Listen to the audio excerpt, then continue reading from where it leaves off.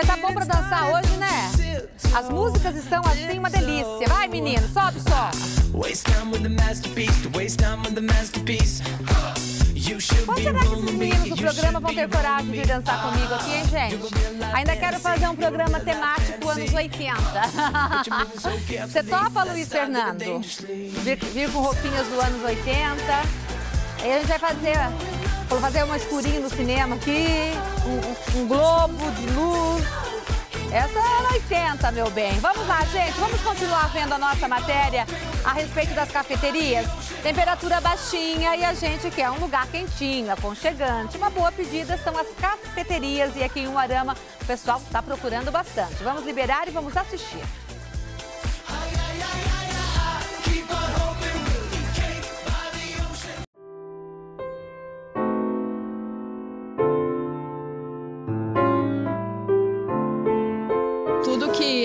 Quente fica mais gostoso, sopa, cappuccino, café, principalmente.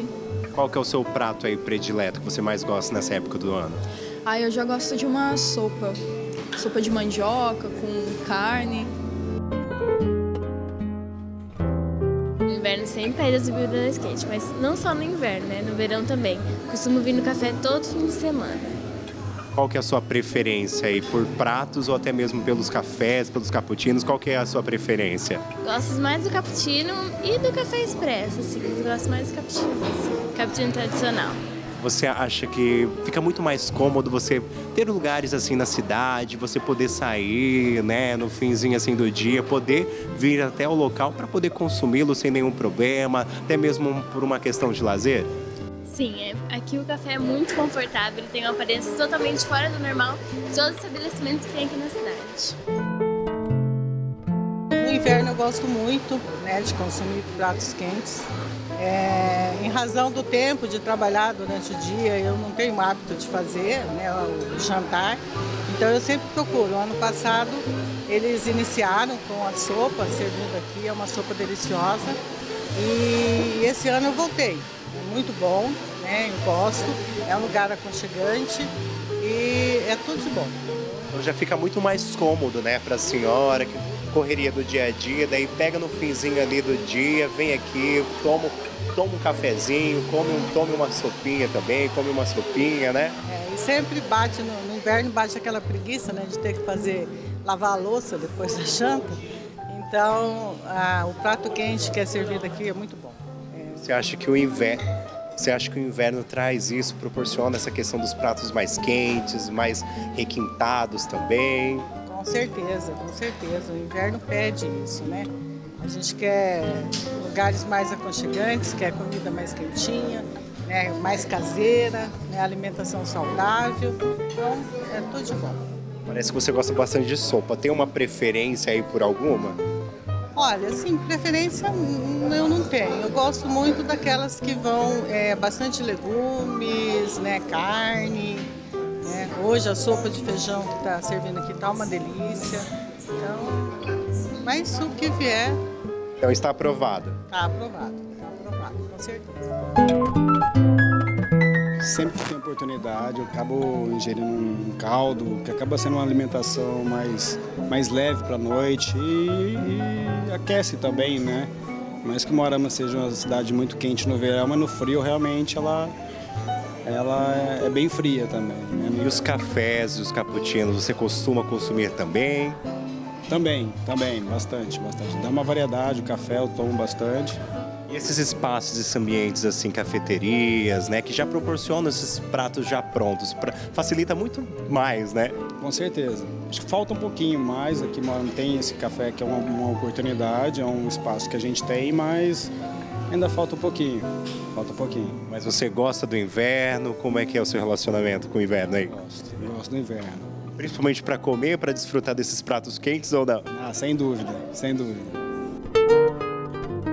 uma delícia, né? No inverno a gente sempre procura, né, algo quente assim, né? E esses pratos quentes, ele traz essa questão assim prazerosa mesmo, é acolhedora no inverno, então eu gosto assim bastante. O que você mais gosta de consumir? Os cafés, os cappuccinos, as sopas? Tudo, tanto sopa quanto cappuccino, tudo que for quente, assim, para poder aquecer nesse inverno. Você costuma consumir com moderação ou no inverno não tem? Tem uma brechinha aí? Olha, eu acho que no inverno eu acho que não tem muita moderação. Acabo consumindo bastante mesmo. Mas você realmente gosta dos pratos, gosta de ambientes assim, né? Que já proporciona essa questão dos pratos prontos, que aqui é muito mais fácil, você já pega o que você quer e já consome. Sim, isso é uma delícia. Já é um, tanto é que é um ambiente muito gostoso pra gente vir aqui com os amigos para conversar, né? Tomar um, um, café, tomar um caldo quente. Então isso é bem bacana. Bem Colocar o, pra, o papo em dia também. Isso, isso é super importante. A gente tem que cuidar da nossa saúde mental também, né?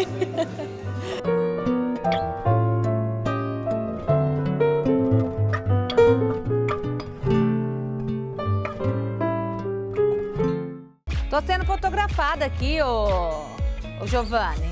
Aí eles falam assim, vamos voltar do intervalo? Vamos, calma aí, Fábio, pode continuar, Fábio. Vai lá, pode fazer as fotos.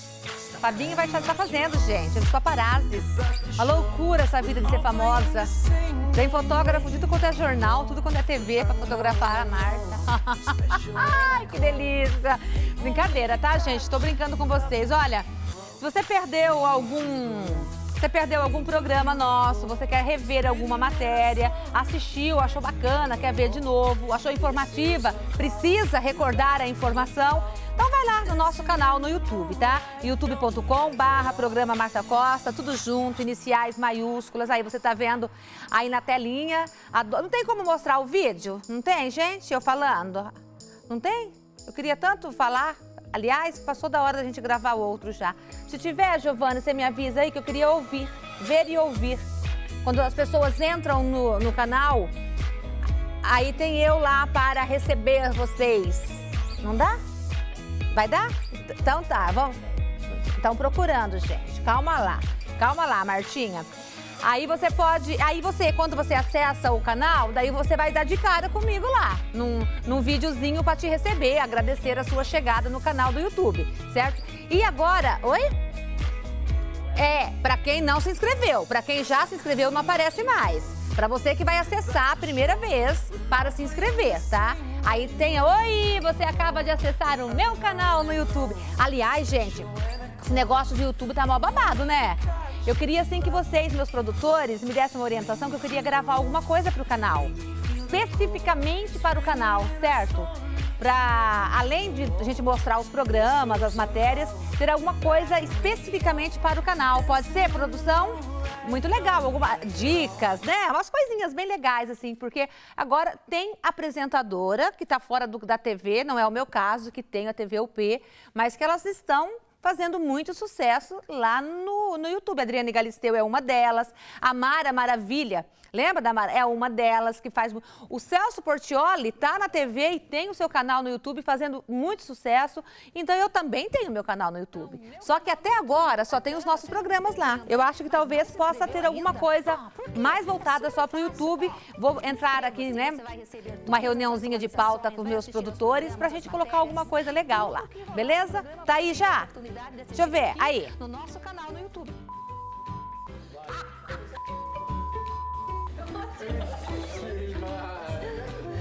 Arrumando a calça. Ai, gente, não pode dar corda. Eles pegaram todos os erros. Coisa louca. Agora deixa eu parar de dar risada. O Marquinhos parando. O Marquinhos passou bem na frente na hora que eu tava gravando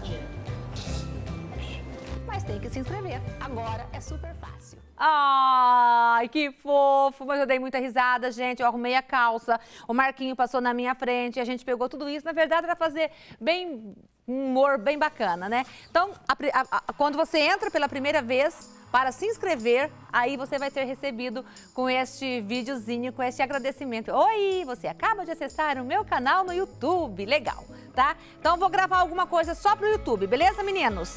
Mas eu preciso da orientação de vocês, vocês são jovens, vocês entendem disso. Eu não, já, eu não nasci na época da... Tem que ser mais descolado? Aí eu, eu descolo total. Eu solto a franga, para soltar a franga comigo mesmo. Mesmo porque aqui quero fazer algumas coisas, vocês não deixam, né? Lá pode? Meninos, vocês já ouviram falar em cerveja para cachorro? Um, ou chocolate para cachorro? Semana passada passada, nós tivemos com a Regiane aqui, a, a nossa a nossa veterinária que está sempre com a gente aqui, e ela deu algum toque a respeito disso. Hã? O Tiago, né, que era do pet lá, da, da lojinha de, de roupas de cachorro tudo mais. Foi com, é com ele que você vai gravar. Ai, que ótimo, que bacana. Então, melhor ainda, hein? O mercado destinado aos pets está cada vez mais inovando e oferece uma variedade de produtos para os animaizinhos. Cerveja e chocolate são um deles. Vamos lá?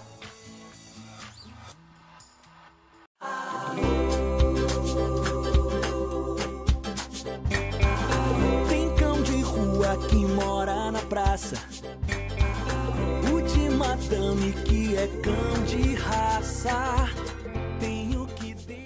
Você já ouviu falar em cerveja aí pro seu animalzinho? Ou quem sabe um chocolate, talvez? É, esse daqui é algum dos mimos que a gente pode presentear os nossos pets, né, Tiago? Alguma das coisinhas aqui que a gente pode dar pro nosso animalzinho e tudo mais. Isso, isso mesmo. São algumas das novidades que a gente tem no mercado pet, tanto para trazer um, um melhor convívio aí com o seu dono, né? Às vezes a gente quer estar dando um alimento que bem próximo ao nosso e uma coisa específica daí para cães, gatos.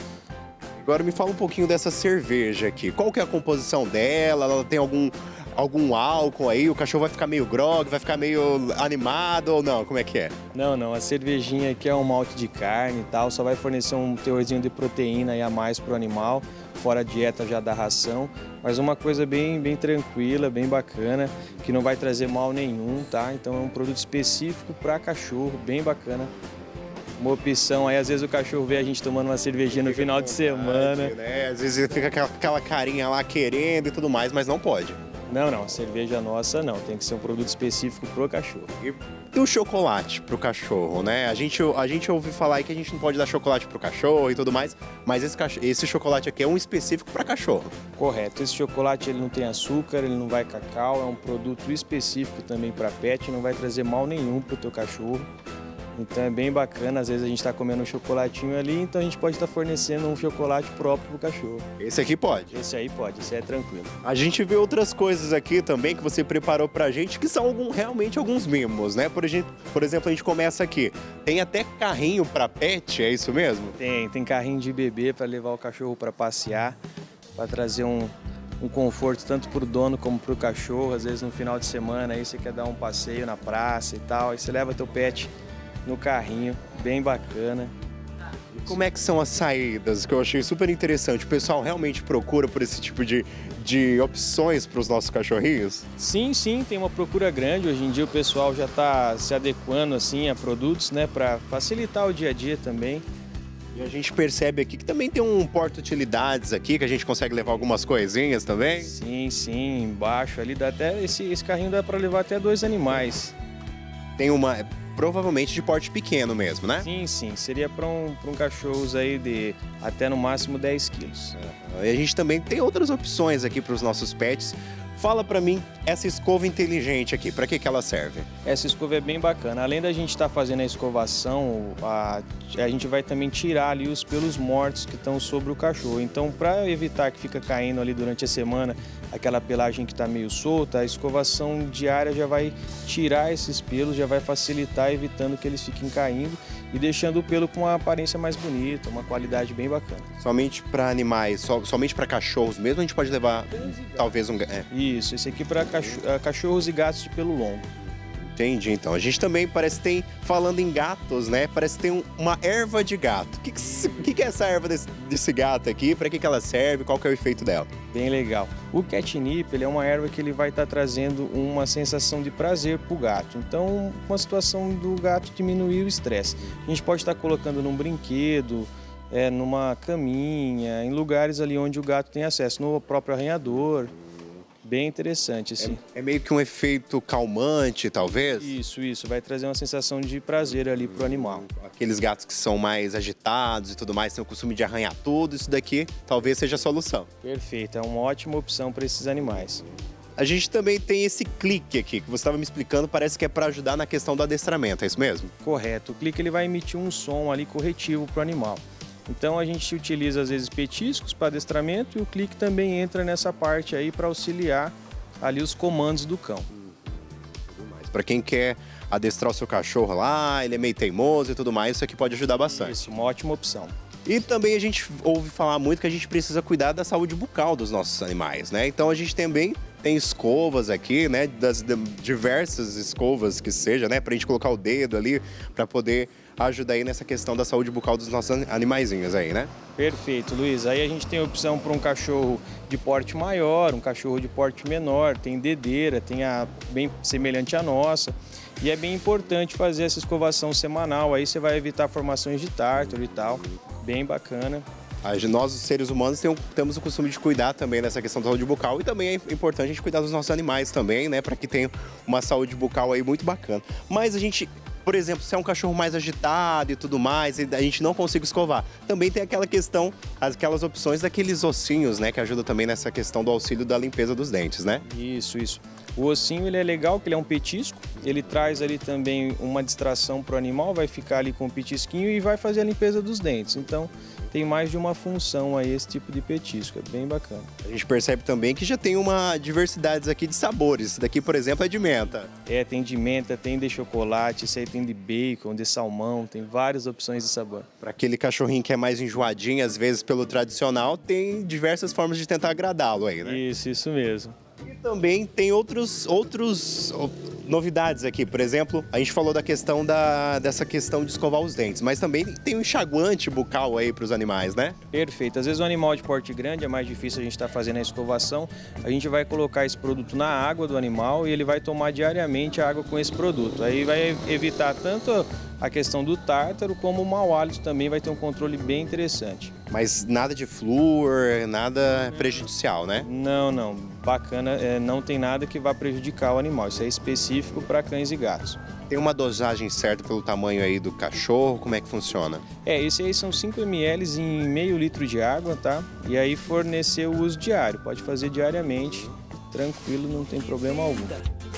E o que rola, o que corre atrás de Legal, não terminou ainda. A gente vai seguir com essa matéria daqui a pouquinho, depois do intervalo. Andréia, um beijo para você. Rosalina, um beijo para você também, Rosalina. Um beijo para todas as mulheres que estão me assistindo. Agora, 8 horas da noite, né? Mas tem muita mulher ainda trabalhando. Sabia que tem mulher que faz serão à noite? As costureiras, principalmente, para dar conta do recado, elas costuram muito à noite. Coloca lá a TV perto da maquininha de costura e fica me assistindo. Muito obrigada, viu? É aniversário da Rosalina? Vai, vai, logo é aniversário da Rosalina? É, esse mês?